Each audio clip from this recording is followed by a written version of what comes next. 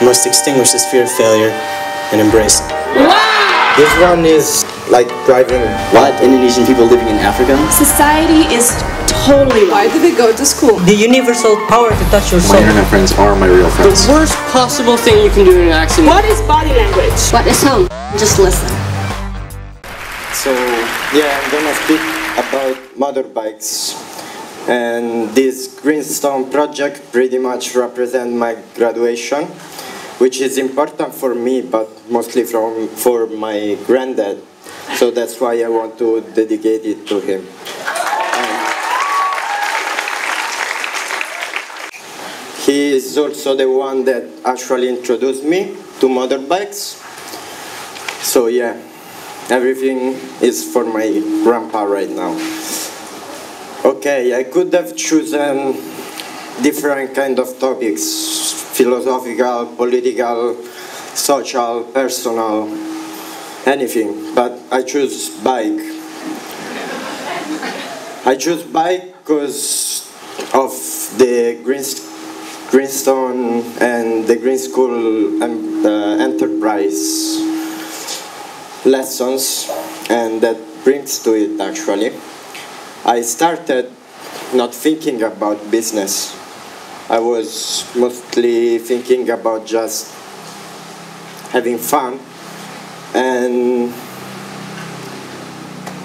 and yeah, that's that's it. So my presentation is about a passion, is about a business, and is about a, the story of my life within motorbikes. And that brings back to my grandpa, who actually bought me my first little electrical bike while I was four or five. So I started running with that and and yeah, enjoying it. And I was happy with it, so I learned how to drive a bike. And then he introduced me to go-karting. I was really good at it. Um, he was my manager. I was I was running well. I've been doing it for a couple of years. I, I've been also asked from a big Italian en- engines company to write for them. They would provide a salary, they would provide education, they would provide all the expense I would have to travel around Europe to run for them, but they wanted me to upgrade my category. So you know how moms are. She, my mom's, my mom didn't want me to do that, and I got mad. But but that's the way it is. So so yeah, couple of months after it, for some personal issues, I just stopped go karting and yeah but i still had my passion and to feed my passion i did bad bad thing that's new also for my mom right now she didn't know about it when i was 11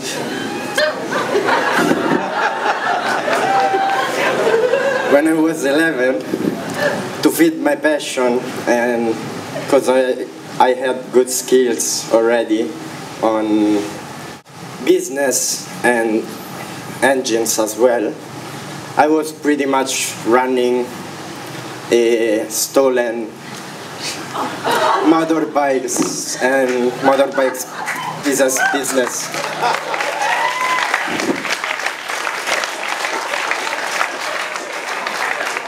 I want to apologize to my mom.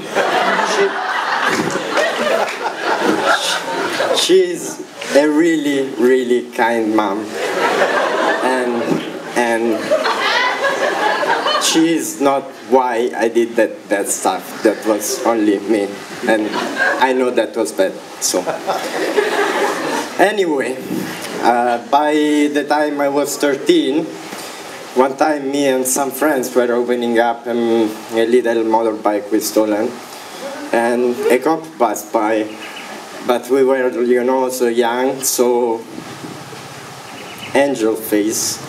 So, so the cop didn't know at all what what we were doing actually. So before the rest of the cops came, he just let us go away.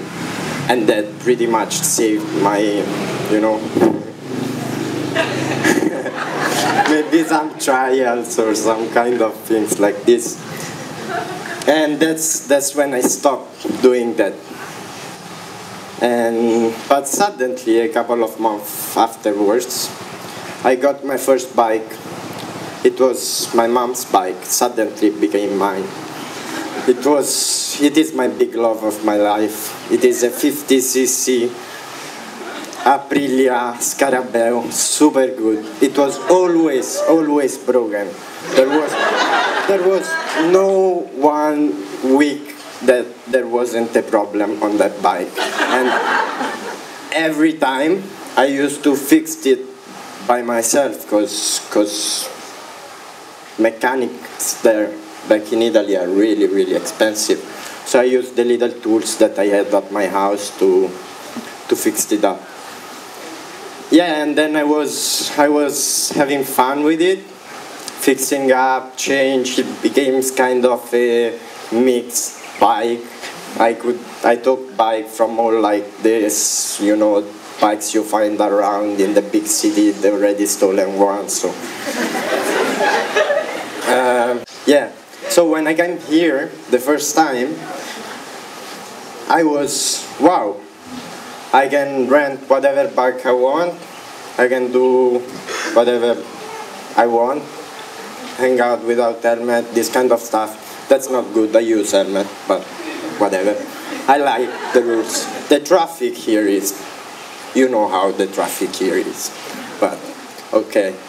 The second time I came here, I thought, why shouldn't I buy a bike and then sell it back when I had to go back to Italy?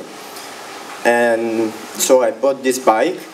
It was a CB, CB 150 GL Pro engine, modified already, but it was pretty.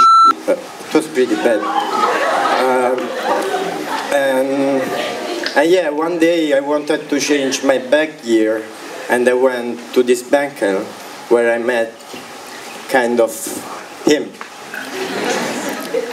He is like my uncle now. He is the one that made my bike. Okay, that's that's that's my GL Pro.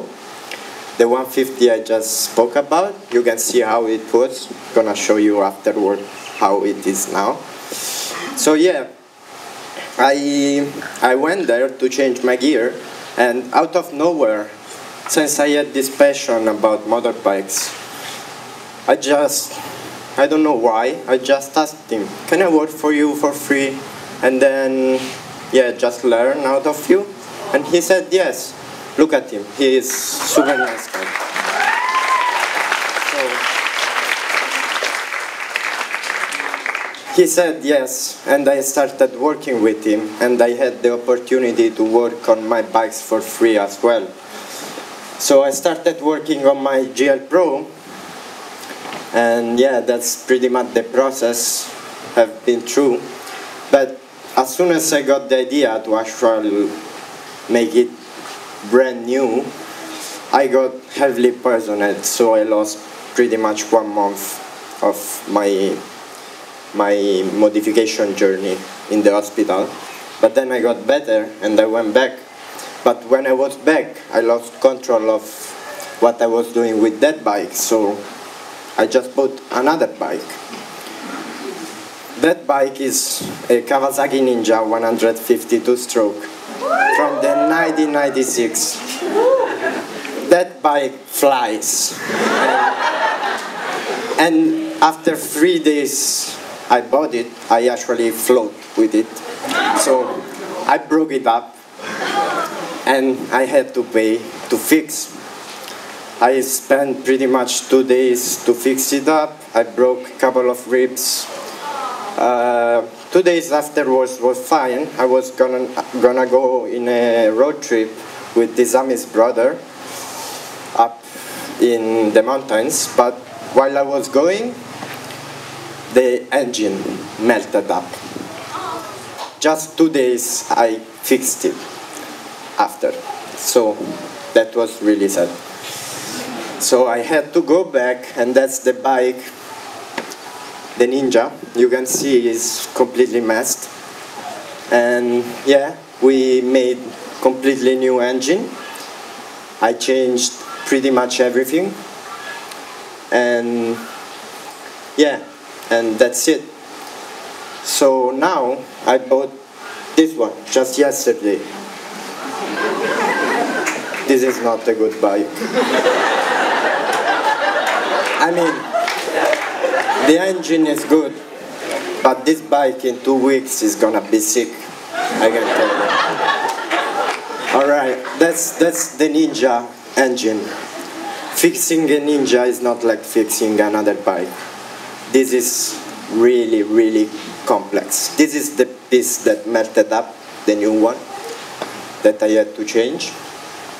And yeah, yeah, during that process, I met this wonderful guy. He is my, like my uncle now. And I received help from him, from, from another friend of mine that's not here now. And, and yeah, now I would like to show you the final product. If it comes out.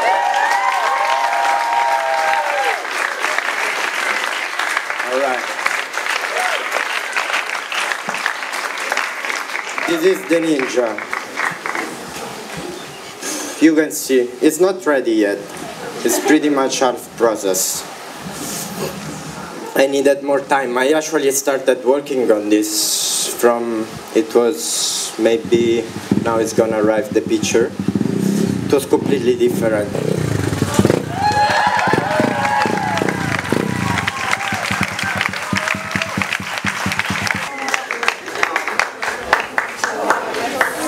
This is the GL Pro. Pacoman Care.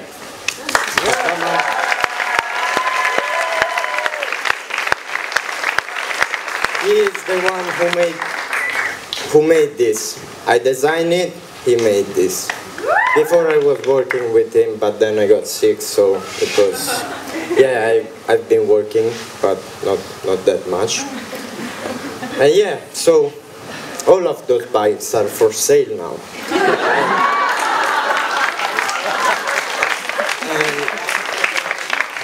I can say, I can say that is a good investment. All of these bikes are bike for lovers. This one is pretty useful for everything. It flies. It has two spots. This one is just like driving butter. It's, so good. This one here would be perfect for for some green school kid. So yeah, maybe in one two weeks it's gonna be ready, full on, bagus like all these other ones. And yeah, I want I want to thank Pacoman.